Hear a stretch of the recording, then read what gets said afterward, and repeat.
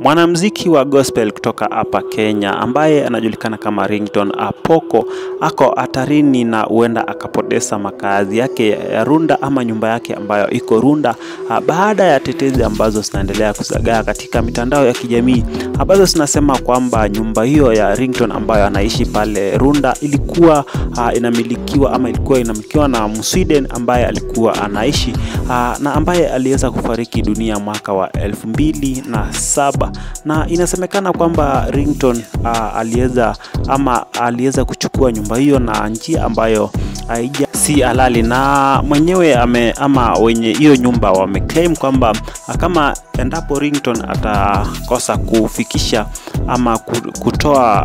uh, stakabadhi ambazo uh, ni za halali ah, hiyo uh, nyumba ata- kwa muda wa siku kumi nyumba itakuwa inafungwa na Ringtone atabaki